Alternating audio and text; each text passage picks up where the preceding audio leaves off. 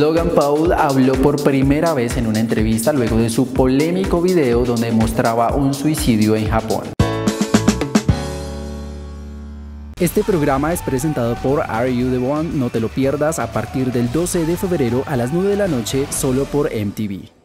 En una entrevista pregrabada que salió al aire este jueves, el programa Good Morning America entrevistó a la estrella de YouTube Logan Paul por primera vez desde que su video del bosque de los suicidios se hiciera viral por todas las razones equivocadas. El mes pasado, Paul publicó un video que mostraba el cuerpo de una víctima de suicidio en Japón. Paul, con más de 16 millones de suscriptores en su canal, habló lo que ha ocurrido luego del video ha sido duro porque irónicamente a mí mismo me han dicho que cometa suicidio. Millones de personas literalmente me dicen que me odian, que me muera en un incendio. Eso es como lo más horrible, las cosas más horribles. Al inicio de la entrevista, Paul explicó cuál era el fin de hacer ese video en ese lugar. La idea era hacer otro vlog, ir a acampar por una noche y hacer una pieza entretenida de contenido en un bosque. Y bueno, obviamente las cosas cambiaron drásticamente rápido. Paul admitió que se sorprendió cuando él y sus amigos se encontraron con el cuerpo del hombre, aunque lo grabó, editó el material y luego lo subió. Creo que sucedió por una razón y creo que la razón es que yo pudiera tomar esta experiencia, aprender de ella, dar el mensaje de la manera correcta sobre la prevención del suicidio y conciencia sobre la prevención del suicidio.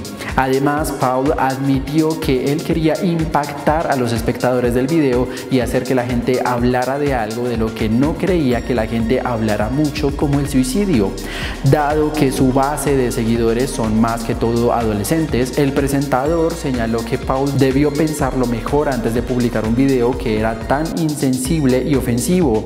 A lo que el youtuber le respondió que su ideal desde hace varios tiempo es cambiar ese público de niños por uno más grandes como él que ya tiene 22 años, ya que en sus videos decía malas palabras y hacía bromas muy pesadas. También el periodista le preguntó sobre la decisión que tomó YouTube de sacarlo de su plataforma de monetización. Entiendo que debían tomar una posición y aunque no necesariamente estoy de acuerdo con eso, sí lo respeto.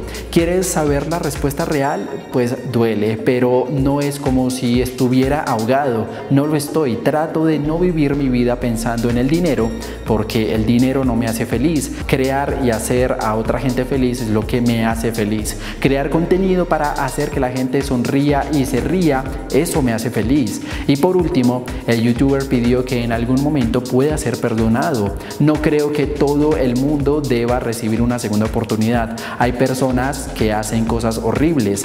Este fue un lapso horrible en mi juicio y yo puedo aprender de ello y ser una mejor persona. Bueno, y en tu opinión, ¿crees que Logan Paul sí debería seguir haciendo videos para YouTube o retirarse después de esto? Bueno, déjenme saber su opinión aquí en los comentarios y recuerda seguirme en mis redes sociales como arroba Johnny Torres. También en la descripción te voy a dejar todos los links. Pero todavía no te vayas sin haber visto en nuestra sección viral a la mujer de 30 años que quedó en el cuerpo de una bebé de 9 meses haciendo clic a la derecha o mira a la familia que vive con 7 tigres en su casa haciendo clic a la izquierda y recuerda suscribirte también a este canal porque aquí encontrarás todos los días lo mejor del entretenimiento y lo más viral.